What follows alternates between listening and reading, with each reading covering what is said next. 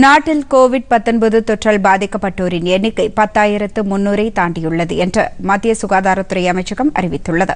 இதுகுறித்து அமைச்சகம் வெளியிட்டுள்ள அறிக்கையில் கடந்த இருபத்தி நான்கு மணி நேரத்தில் புதிதாக ஆயிரத்து இருநூற்று பதினோரு பேருக்கு நோய் தொற்று கண்டறியப்பட்டுள்ளதாகவும் முப்பத்தி ஒரு பேர் உயிரிழந்துள்ளதாகவும் தெரிவிக்கப்பட்டுள்ளது.